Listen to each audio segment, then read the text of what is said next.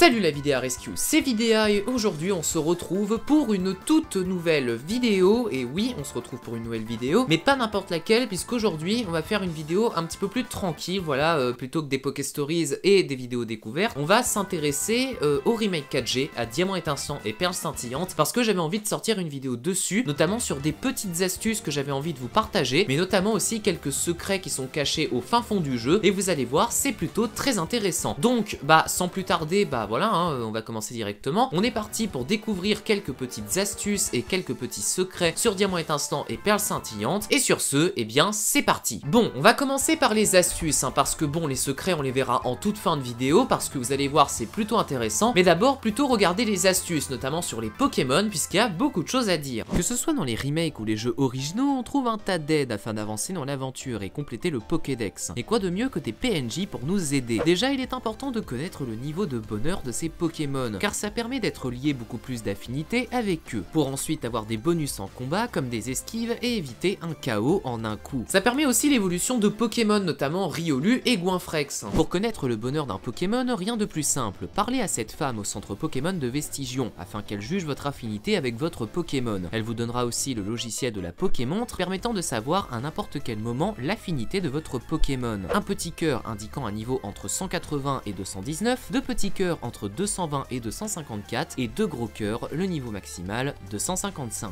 Bref, le bonheur d'un Pokémon c'est bien, mais les IV c'est tout aussi important et deux PNJ sont là pour nous le montrer. Rendons-nous à la tour de combat en premier. À l'intérieur, un PNJ nous permet en lui parlant de débloquer la fonction juge, qui nous permet d'avoir des jugements précis sur la qualité des IV d'un Pokémon en appuyant sur la touche plus. Mais bon, parfois il arrive que les IV d'un Pokémon ne soient pas totalement parfaits, d'où l'utilité d'un service rendu par un PNJ. Cette direction la boutique de l'air de combat. Une fois à l'intérieur, parlez à ce PNJ pour qu'il vous propose d'améliorer les IV de vos Pokémon. Cependant, attention, le Pokémon qui subira l'entraînement devra obligatoirement être de niveau 100. Il vous suffira soit d'une capsule argent pour augmenter les IV d'une seule statistique à 31, ou alors une capsule d'or pour passer toutes les statistiques à 31. Bref, un service coûteux, mais qui améliorera considérablement la force de vos Pokémon. En parlant d'IV, une chose importante à savoir, lorsque vous rencontrez un Pokémon sauvage dans les remakes, faites attention à l'animation de votre personnage. S'il se présente comme ceci avant la rencontre, c'est que le Pokémon en question possède des IV supérieurs à la moyenne, donc parfois vaut mieux le capturer que de fuir ou le mettre KO. Voyons maintenant une astuce qui va vous permettre de gagner bah, beaucoup beaucoup beaucoup d'argent parce qu'on aime ça l'argent. Dans le jeu, il vous suffira d'abord de récupérer deux choses, la pièce rune dans le square paisible et le cherche combat permettant de relancer un combat contre des PNJ déjà affrontés. Il vous est donné par Aurore ou Luca sur la route 207. Le but de cette technique est ensuite de réaffronter des dresseurs, si possible en duo, car ça rapporte encore plus. Et ensuite, vous pouvez enchaîner les combats pour devenir ultra riche. Ensuite, dirigeons-nous dans les souterrains pour avoir une nouvelle méthode de Shiny Hunting. En effet, lors de votre aventure, dans les souterrains, vous croiserez des piqueurs qui rempliront une jauge de rencontres. Et au bout de 40, vous augmentez vos chances de tomber sur une statue brillante quand vous découvrez des objets dans la roche. Si vous l'exposez ensuite dans votre base secrète, les chances d'obtenir un shiny de bah, ce Pokémon en statue seront doublées. Donc c'est-à-dire ça passera d'une chance sur 4496 à deux chances sur 4496, ce qui est plutôt cool. Parlons maintenant d'un objet que je trouve pas très très bien implanté dans les remakes, et c'est bah, la Pokémontre. À l'état d'un gadget, la Pokémontre permet quand même quelques petites fonctionnalités qui sont plutôt très très cool. Mais certains logiciels sont quand même très compliqués à récupérer et je vais vous expliquer comment faire. Déjà dans cette maison à Rivamar, on peut trouver un scientifique qui la première fois qu'on lui parle nous demande de lui montrer un Pokémon sérieux. Une fois le service rendu, il nous donnera le logiciel calendrier permettant de noter les jours importants. Ensuite, il faudra lui montrer un Pokémon naïf pour débloquer le logiciel de dessin et un Pokémon bizarre pour la roulette. Enfin, au parc Rugosa, en parlant à cette fille, elle vous demande de lui montrer un Pokémon qui passe son temps à dormir, donc Ronflex. En lui montrant, elle vous donnera le logiciel minuteur, et ensuite en lui montrant un Kecléon, elle vous donnera le meilleur logiciel selon moi, permettant de changer la couleur de l'écran de la montre. Pour Ronflex, on peut le trouver en faisant évoluer Goinfrex, trouvable dans les souterrains, ou en étalant du miel sur les arbres. Mais en ce qui concerne Kecléon, il faudra d'abord débloquer le Pokéradar pour le capturer ensuite dans la partie brumée de la route 210. Mais attention, il est exclusif à Diamant étincelant, donc si vous avez Perle, il faudra l'obtenir via un échange. Maintenant parlons musique et plus précisément ceux des jeux originaux. Dans les remakes, il est possible une fois la ligue battue d'obtenir un objet permettant de remettre les sons originaux de la Nintendo DS. Et oui, comme sur les remakes de la 2G avec le lecteur Game Boy. Pour ce faire, rendez-vous dans ce bâtiment sur la route 213, parlez ensuite à ce PNJ et il vous donnera le lecteur DS, un objet qui, une fois utilisé, redonnera de la nostalgie au jeu en activant les sons de 2006.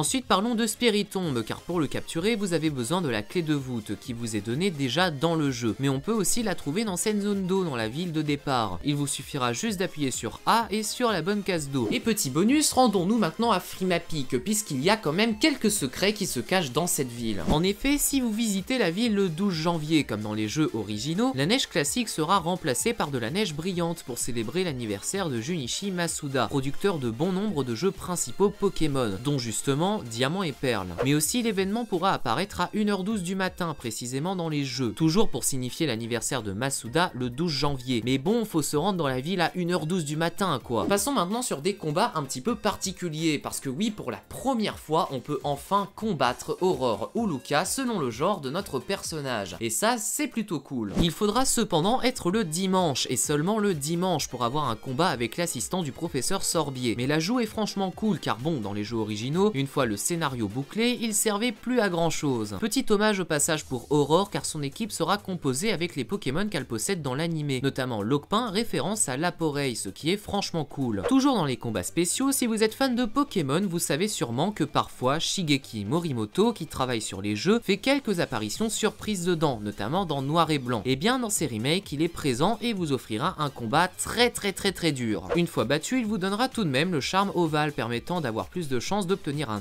à la pension Pokémon. Et au passage, vous pourrez récupérer le charme stabilité ici, une fois avoir battu la ligue, pour augmenter vos taux de critique. En ce qui concerne le charme chroma, pour avoir plus de chances d'avoir un shiny, il faudra comme d'habitude parler au réalisateur du jeu et avoir complété l'entièreté du Pokédex national. Enfin, pour finir, voyons le peu de contenu inutilisé découvert sur les jeux pour l'instant, car oui, dans les remakes, il y en a. Tout d'abord, la Park Ball est totalement fonctionnelle et codée dans le jeu avec son sprite en 3D et 2D. Peut-être que les développeurs prévoient de mettre les show captures dans le parc Rugosa, comme dans les jeux DS avec le parc des amis. En tout cas, je pense que lorsque la compatibilité avec Pokémon Home sortira, pour les remakes, cette Pokéball devrait servir à un système de transfert similaire à celui des jeux DS pour les jeux GBA. Ensuite, plus mystérieux dans les remakes se trouve ce cri à l'origine inconnu.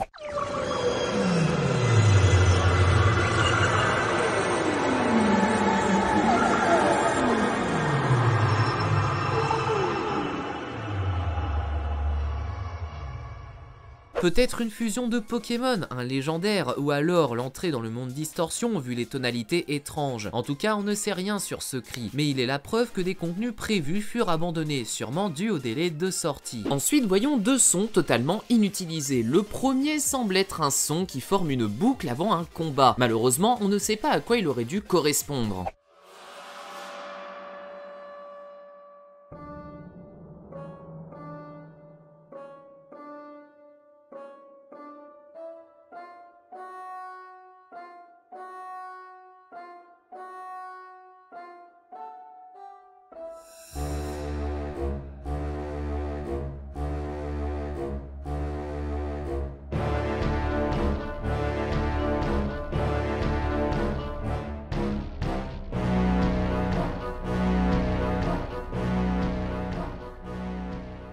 Peut-être comme je l'ai dit, un son avant un combat, ou alors un autre truc dans le post-game. En tout cas, on ne sait pas à quoi il correspond, peut-être qu'il sera utilisé dans une prochaine mise à jour. Et enfin, le dernier son inutilisé est un son un peu étrange d'une espèce d'industrie. Peut-être est-ce des restes d'un lieu qui devait servir dans le post-game, en tout cas, on ne sait pas à quoi il aurait dû servir.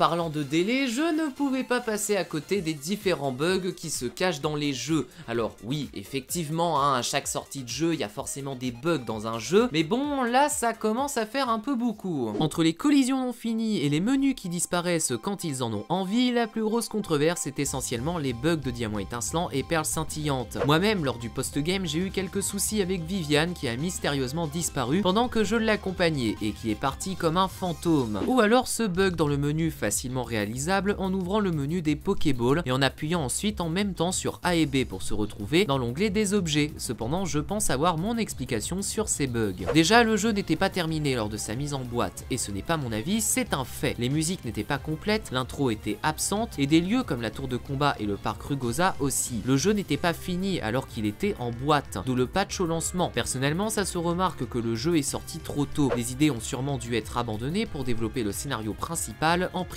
Au passage, une chose que je ne comprends toujours pas à propos de ces remakes, c'est que les contenus inutilisés sont des éléments qu'on se devait d'avoir à la sortie. Par exemple, dans le trailer original, on peut voir ce PNJ présent dans Floraville. PNJ qui, dans Pokémon Platine, nous donne la Grassidée permettant à Shining de changer de forme. Cependant, dans le jeu final, le Pokémon est incapturable car l'event n'est pas implanté dans le jeu. Je dis bien pour l'instant, car rien n'empêche une mise à jour. Mais bon, pour un remake, retrouver les mêmes Pokémon inaccessibles, c'est un peu décevant. On peut aussi ajouter à cela Darkrai et Arceus, deux Pokémon aussi inaccessibles pour l'instant, mais bien présents dans les jeux avec leur event respectif. Je pense donc qu'ils seront disponibles via une mise à jour, mais pour l'instant ce n'est pas le cas, et c'est bien dommage, surtout pour un remake. Et voilà la vidéo Rescue, c'est la fin de cette petite vidéo trucs et astuces sur Diamant étincelant et Perles scintillantes, et j'espère que ça vous aura plu. Alors oui, effectivement, là pour l'instant je fais une petite vidéo trucs et astuces, mais ne vous inquiétez pas, je vais sortir aussi une petite vidéo avis sur les jeux, parce que bon, il y a beaucoup de choses à dire sur les jeux, mais j'avais pas forcément envie de mettre ça dans cette vidéo, j'avais vraiment envie de me concentrer sur des astuces et des secrets à vous partager. Maintenant, je pense faire une vidéo avis, elle est d'ailleurs en préparation, mais je pense que ça sortira pas sur cette chaîne-là, ça sortira sur ma chaîne secondaire Vidéa Craft Co. Donc si jamais vous voulez aller voir ça, bah n'hésitez pas à aller vous abonner à ma chaîne secondaire, et je pense que ça sortira avant la fin de l'année. Donc du coup, bah moi je vous dis à la prochaine pour une toute nouvelle vidéo sur Pokémon, et d'ailleurs aussi au passage, n'hésitez pas à me donner